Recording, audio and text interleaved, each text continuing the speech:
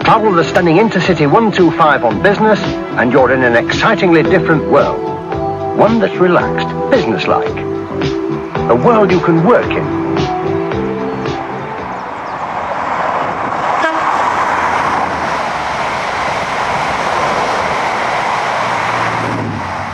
On Intercity 125, you're in a world where you're looked after in real comfort while someone else drives. So you arrive fresh, feeling businesslike, all of which proves that for anyone going places in today's business world, this is the age of the train.